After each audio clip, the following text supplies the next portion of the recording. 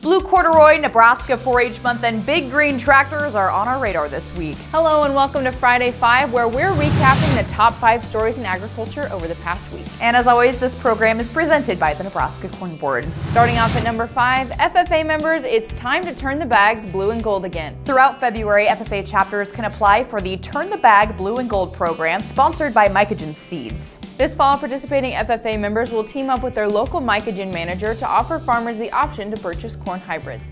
Participants earn funds for every bag of seed sold. Now, this fundraising opportunity is in its fourth year, and so far it's raised more than $93,000 for local chapters, state associations, and the National FFA organization. And at number four, the Bureau of Reclamation announced this week that it will provide $2.3 million in its fiscal year 2020 spending plan. That money will be put toward the repairs of the Gering Fort Laramie Tunnel following the collapse in the summer of 2019. So prior to this week, the Bureau indicated that precedent made them unable to offer any funding for the canal's repair. Senator Deb Fischer and her staff worked closely with the Bureau to find a way to secure the funding. She said it will help western Nebraska farmers and families who feed the world to recover from the effects of this major disruption to irrigation. Moving on to the middle of the countdown, February is Nebraska 4-H month, and Nebraska 4-H wants to see what the club is like from your perspective.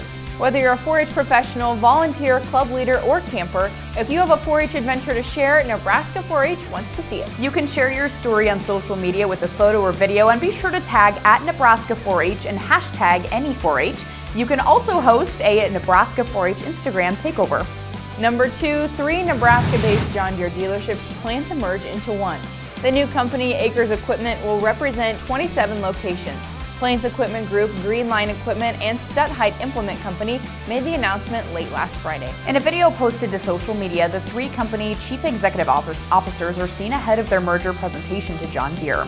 The companies plan to officially close on the deal by the end of March 2020. And finally, number one this week, the National Cattlemen's Beef Association Convention is wrapping up today in San Antonio. The U.S. Secretary of Agriculture Sonny Perdue spoke to cattle producers, industry partners, and stakeholders at the 2020 Cattle Industry Convention and NCBA trade show on Wednesday. The largest annual gathering of the beef industry draws more than 9,000 members to its convention. The event provides a platform for education, policy development, and networking. And that'll do it for this week's edition of Friday 5, which is brought to you by the Nebraska Corn Board. Have a great weekend. This is Mike. Mike likes his car. Mike likes to save money. And Mike likes to breathe. So Mike fills up with E15 with 15% American ethanol. The clean octane in E15 gives Mike the performance he wants from his engine and the clean air he wants for his family. Better yet, E15 costs less at the pump. Higher octane, cleaner air, lower cost. E15 sure gives Mike a lot to like. Discover E15 with American ethanol.